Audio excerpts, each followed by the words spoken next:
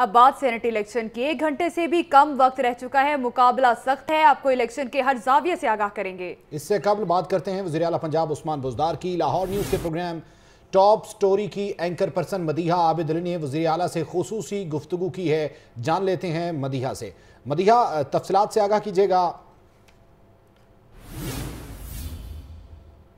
साहब वज़ीर आज़म को आपके ऊपर मुकम्मल एतमाद है। अभी तक पंजाब की कारकर्दगी में सबसे बड़ा चैलेंज अगर आपको है तो वो क्या है? कोई भी चैलेंज नहीं है।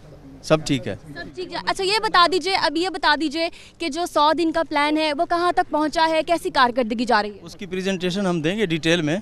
तो आप सब लोगों को बुलाएँगे वहाँ पे इंशाल्लाह। सही है। अच्छा ये बताइए कि अभी तक जो पंजाब असम्बली में बिल पास करवाए गए हैं सिर्फ़ एक बिल पास करवाया गया। कानून साजी अभी तक इतनी स्लो क्यों है सर? जब हंड्रेड डे पूरे हो जाएँगे ना फिर आप पूछ लेना कितने बिल पास करवाए हमने। चलिए बहुत शुक्रिया हमसे बात करने के लिए।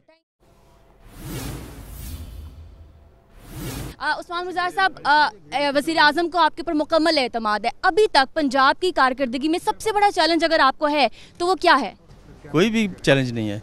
सब ठीक है। सब ठीक है। अच्छा ये बता दीजिए अब ये बता दीजिए कि जो सौ दिन का प्लान है वो कहाँ तक पहुँचा है कैसी कारकर्दगी जा रही है? उसकी प्रेजेंटेशन हम देंगे डिटेल में तो आप सब लोगों को बुलाएँगे वहाँ पे इंशाल्लाह। सही है। अच्छा ये बताइए कि अभी तक जो पंजाब असम्बली में बिल पास करवाए गए हैं सिर्फ़ एक बिल पास करवाया गया है। कानून साजी अभी तक इतनी स्लो क्यों है सर? जब हंड्रेड डे पूरे हो जाएँगे ना फिर आप पूछ लेना कितने बिल पास करवाए हमने। चलिए बहुत शुक्रिया हमसे बात करने के लिए।